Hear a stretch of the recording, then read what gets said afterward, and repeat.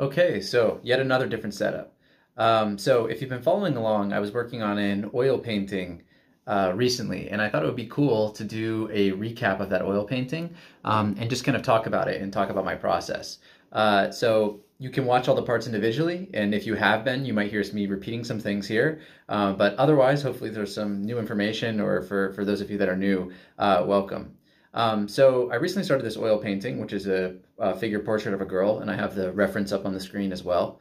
Um, and I'm just going to kind of talk about my process and my approach. So I lately have been working more alla prima or direct, which means I'm not really laying in any sketch with pencil or with charcoal or anything like that, but instead just directly attacking the canvas with uh, paint. Um, and I started this technique of like using a like a, my brightest red, like not diluting it at all, just really using my brightest red to, to put in the initial sketch, which is what you're seeing right here. Um, and it's something that I, I really like actually.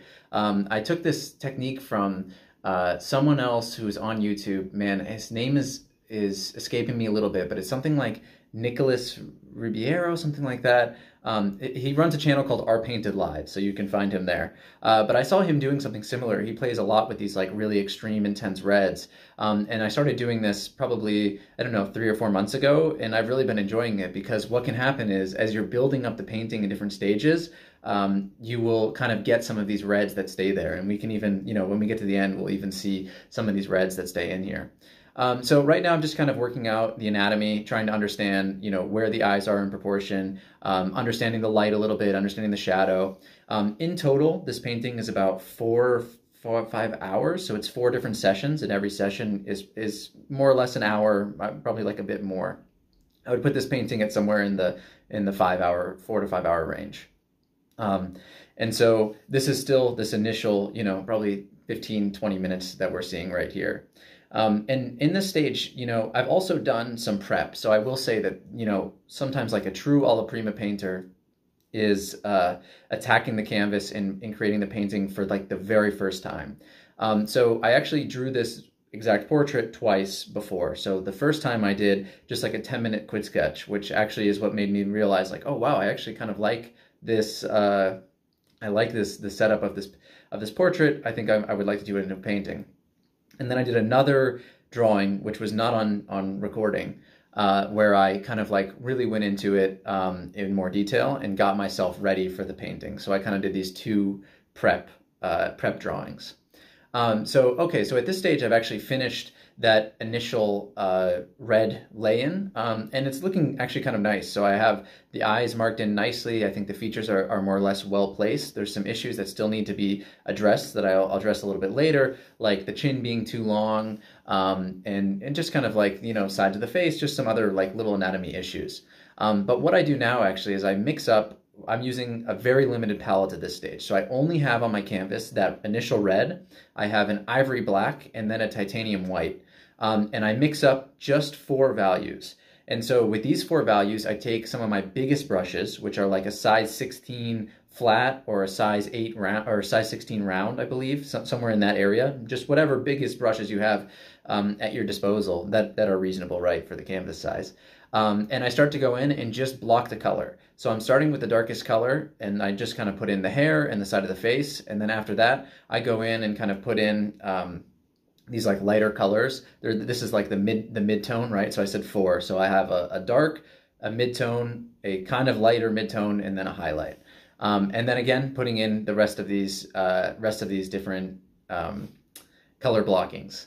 And so what you can see here actually that I think is kind of nice to highlight is before I'd started this, there was actually kind of a decent little lay-in with just the red paint, like a decent little sketch. Um, and you can see that the painting is clearly entering what's kind of known as the ugly stage.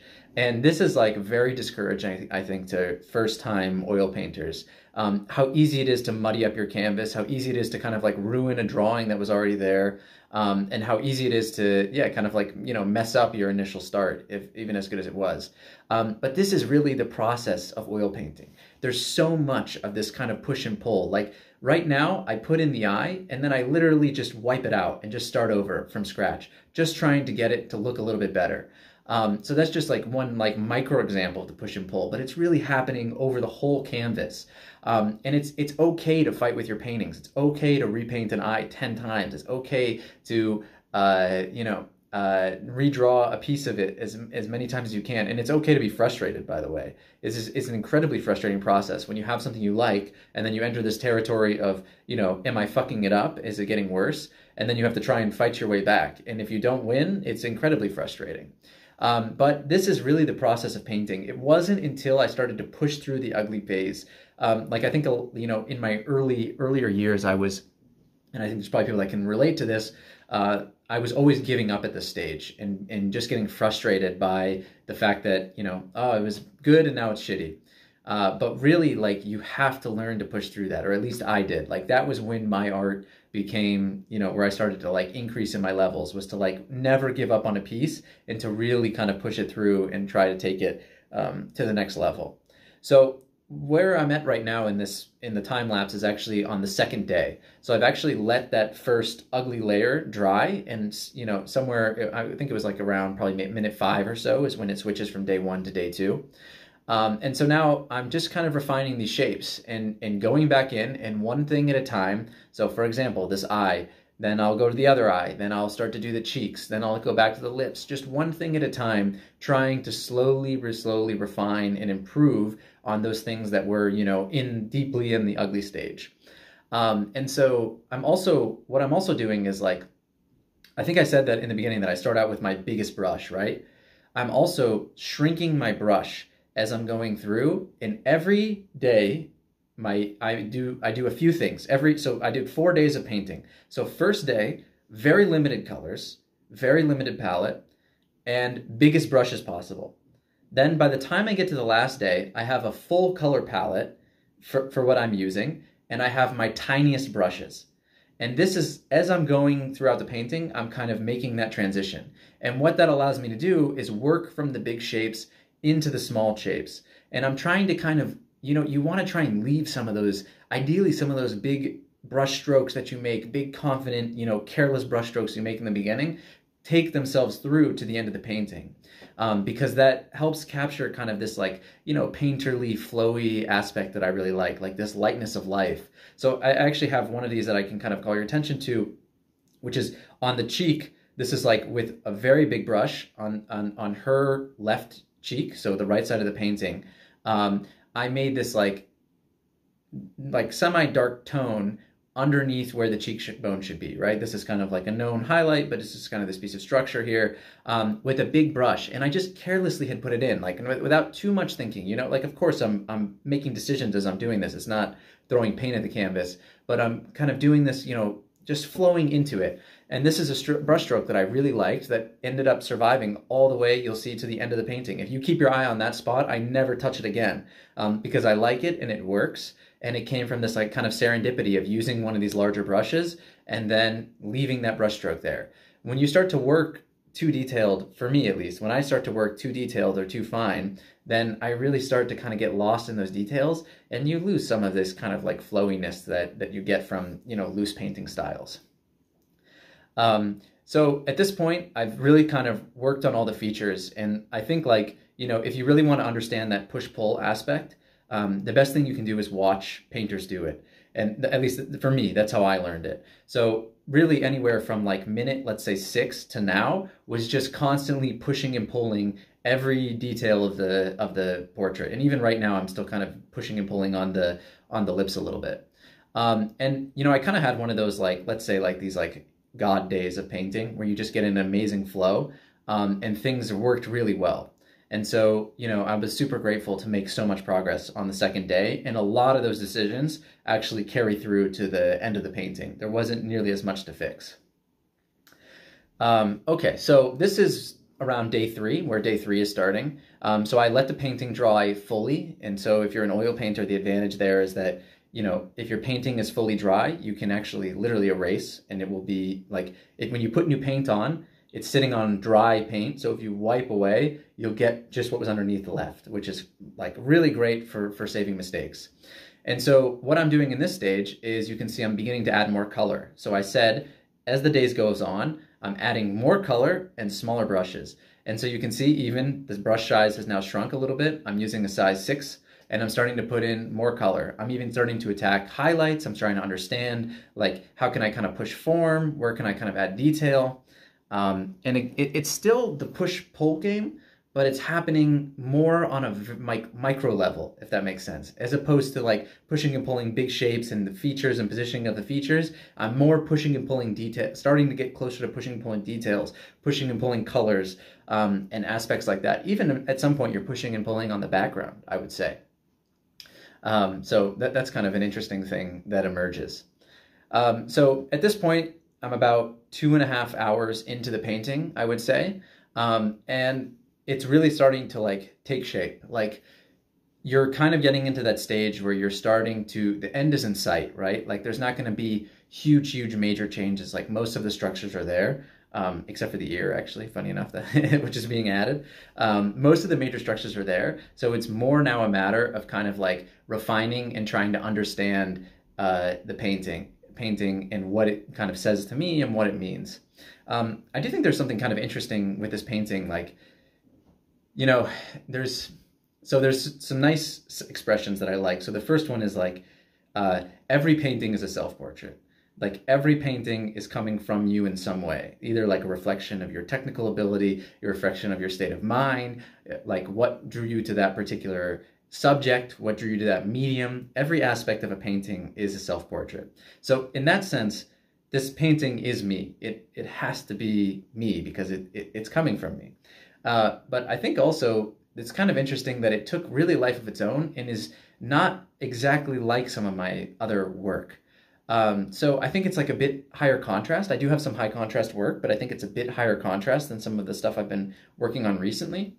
Um, but I also think it's like more serious. Uh, it, it has there's it seems feels it has some of that lightness painterly aspect that I like, but it also has some kind of serious weight to it um, which I didn't intentionally set out to do. Like in the reference, she's a bit serious too, but there's even, you could argue, like a little bit of a smirk there. Um, and so, you know, it's interesting that I somehow found in that, in, in this painting, like a little bit of that intensity. And actually, as soon as I start to put in the highlights, the highlights in the eyes, I think you can kind of feel some of that intensity that's coming through, um, which I think is, is, is kind of interesting.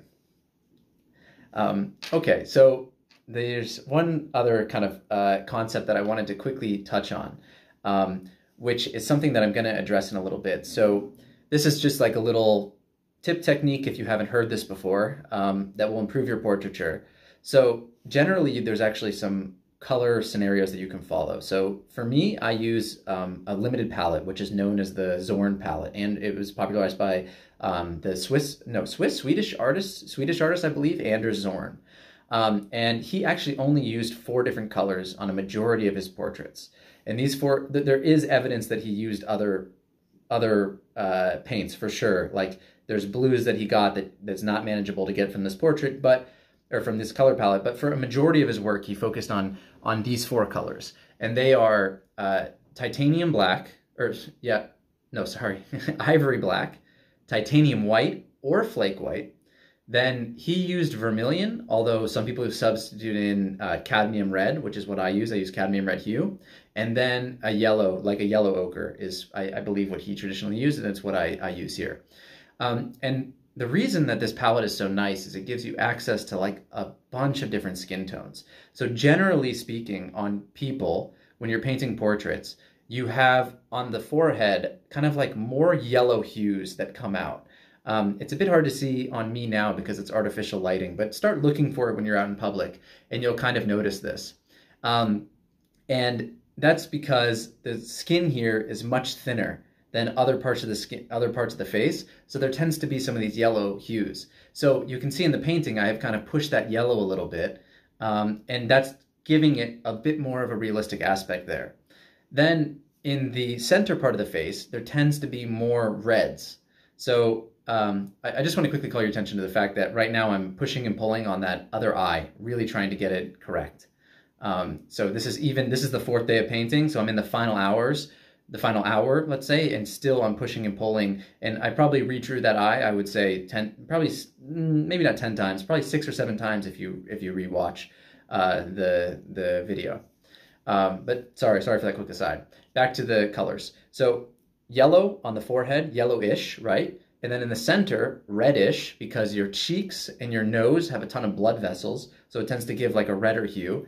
And then generally at the bottom of your face is cooler, especially on those that have like five o'clock shadow, so you can really see it on my face here, or like a beard or something like that. You really get a lot of those kind of cooler tones. And it, it even transfers over to, to people who don't have um, don't have five o'clock shadow to, to do, make that decision. Um, so by kind of following that the kind of color orientation, you can work from that as a base. Like, of course, not everybody will follow that. And if you're painting that's something that has like a green light or like a blue light or something like that, that could be all thrown off, like how those colors, um, how those colors, you know, exist. But it's kind of like knowing anatomy. Like, it's something that you can start with. Like, it's a place where you can start and then you can edit. Like, then you can start to do your push pull. Like, if you look here, I actually had a day where I put in way too much yellow in the forehead. So then I had to pull it back. But just by doing that, I kind of added more interest into the painting. That now I have added this kind of yellow tone.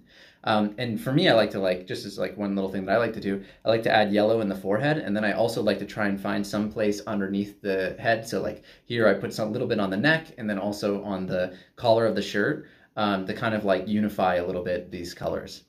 Um, but okay, so we've more or less made it to the end here. Um, and I think I, I rambled enough and, and, kind of recapped a lot of what we did. Uh, but overall, I think like this is a painting that I kind of enjoy. You know, I, I try, I talk a lot about, you know, not trying to stay a bit impartial, like try not to be too happy when you have a good painting and try not to be too sad when you have a bad painting um, and just kind of like view it as the work.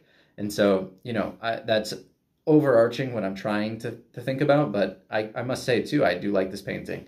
Um, I actually signed this painting and I might end up putting it into a frame and, and, you know, potentially submitting it to a show or a gallery or something like that. But let's see, let's see. I, I need to also kind of sit on it for a little bit and maybe uh, not look at it for a couple weeks and then come back to it and then maybe even do another session that's like 30, 45 minutes just to see if there's some things that I need to improve or, or change. Um, that concept of fresh eyes, which I've talked on a lot. So anyway, this is the end of this uh, this recap. Uh, I hope you enjoyed it. I really enjoyed making this painting and making kind of the series associated with it. Uh, so there will probably be more of that coming in the future. So hope you did some art today too.